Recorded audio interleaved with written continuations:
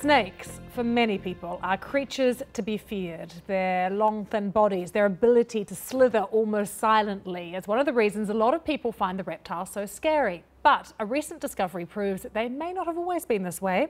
Scientists have uncovered a fossil of a four-legged snake, which lived more than 100 million years ago. With me now is our science correspondent, Jonathan Webb. I have to just admit to the slight discomfort I feel talking about snakes, Jonathan, but uh, how was this discovery made of this fossil? Remarkable tale, actually. So it was probably dug up um, from a particular formation in Brazil many years ago, but then it languished in a private collection for decades actually. And somehow it ended up in a German museum where it was on display labelled unknown fossil. Uh, and a researcher from Portsmouth University actually discovered it on a field trip with his students. They were there to see uh, the Archaeopteryx fossil, an ancient bird fossil, which this museum is very famous for. Then they happened to see this snake and looking very, very closely at it, the paleontologist from Portsmouth spotted the legs and thought, hang on, this could be a really important thing. And they, he asked the, the museum for permission and they set up a, a, study team and they got to work on it. And uh, it turns out it's a very, very significant find. Well, it sounds like, imagine for the students, it's a trip they'll never, ever forget. Uh, what would the world have been like 100 million years ago when the snake lived?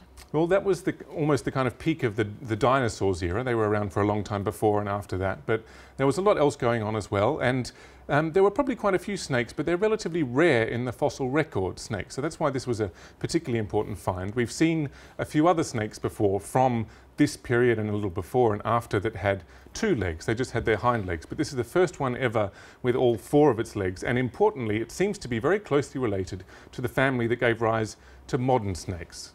Now here's the artist's impression of the snake. The, this is the picture that makes me feel particularly uncomfortable, I have to say. Those little legs there then, would they have used them for, for walking? Or essentially. Is that what they were for? No, it seems like this snake was already slithering, so it had stopped using its legs for walking. So it was slithering, slithering around in just a way that makes you uncomfortable. um, but the legs were still useful, so they're quite highly developed. They've got long, skinny fingers, uh, so it seems like they must have been used for something, and the researcher's best guess is they maybe used them to grab onto other snakes during mating or even onto its prey, as you saw in that illustration. So after it had grabbed onto something, it might have tried to keep hold of it with those long little fingers. But the, the legs are actually pretty small. They're only about seven millimetres long on a sort of 20 centimetre snake. So Jonathan, this must be really interesting for scientists just in terms of looking at how snakes have, evolved. I mean, how does it add to the debate?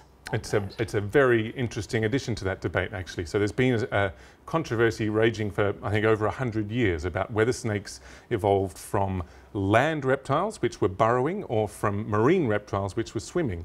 And this particular little guy seems to be very, very well adapted for burrowing and not for swimming. He's got various features which suggest he lived, he lived sort of partly underground, and so it almost, people think, clinches the argument for snakes having slithered into existence on land and not at sea. I like your language, the little guy. And what, what's the name that they've given him as well? They've called it Tetrapodophis amplectus, which means uh, four-footed snake, the first part. And the last bit is actually the Latin word for embrace. So the researchers have dubbed it the huggy snake with its huggy. four limbs for holding right. on. I'll, I'll attempt to get my head around that, Jonathan. Thanks so much.